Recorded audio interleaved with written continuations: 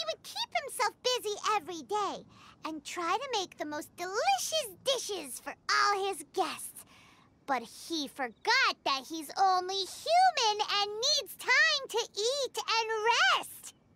He was so busy that he didn't even have time to eat and couldn't even taste his own cooking.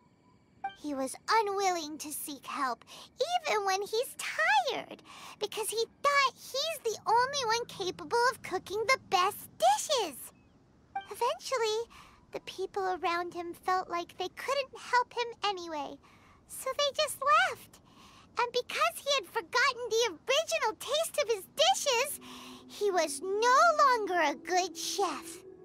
In the end, his restaurant had no choice but to close for good. Uh, oh. I see.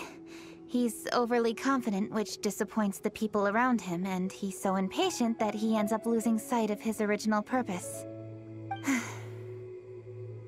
so, that's the whole story?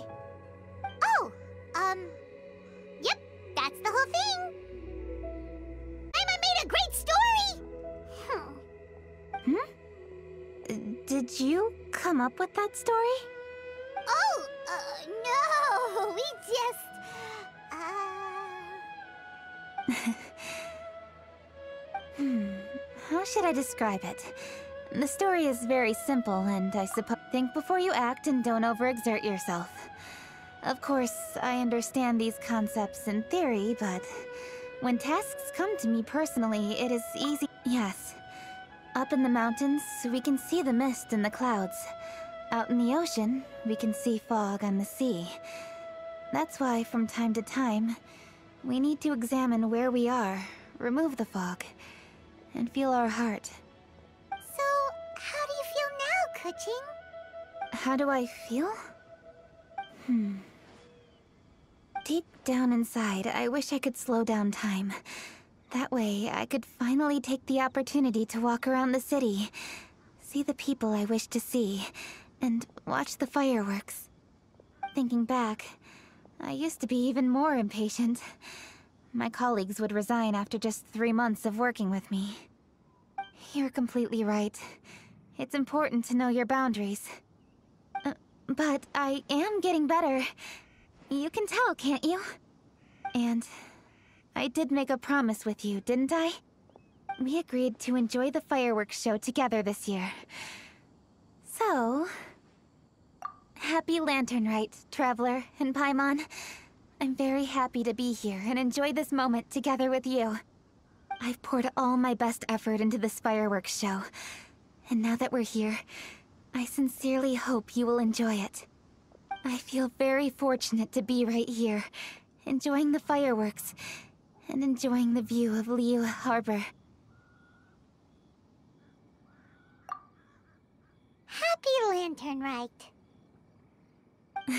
Happy Lantern Rite. And... Thank you.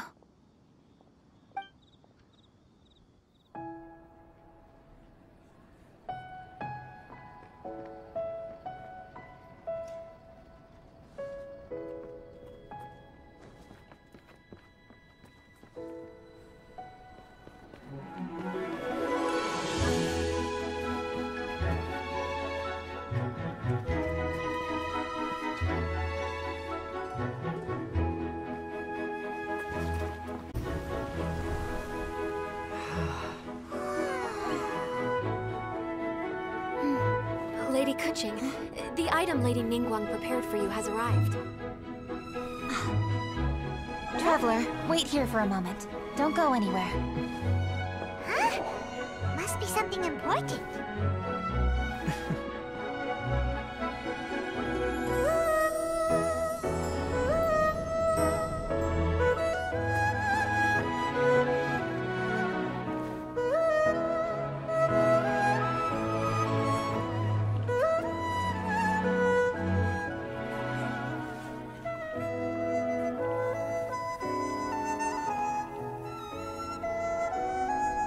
Traveler? Paimon? Ningguang had her personal tailor make it for me. Said it's an imported style. Well, do you like it? Wow! It's beautiful! It's time. Traveler, please enjoy the grand finale of this year's Lantern Rite. The fireworks show.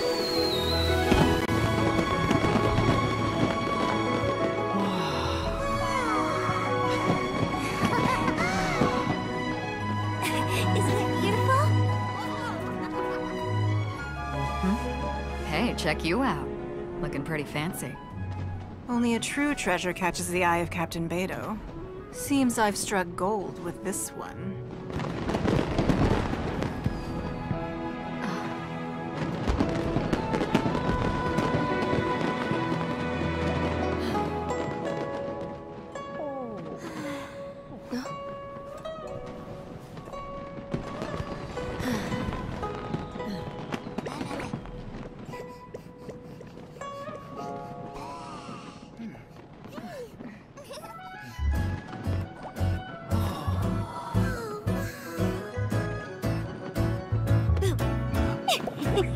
Did you see that? Way over there, a firework that looks just like a pig! So it does.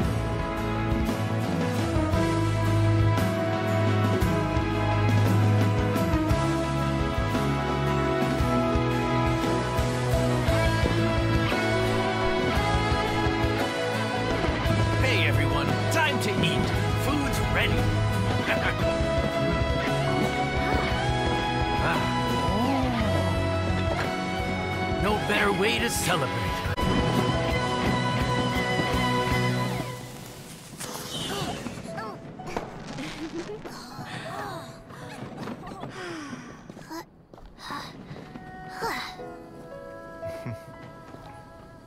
Dr. Baizhu, sorry to trouble you again this year. No trouble at all.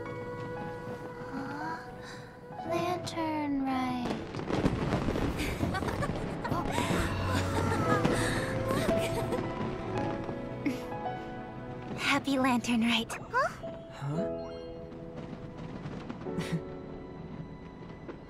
Happy Lantern Rite!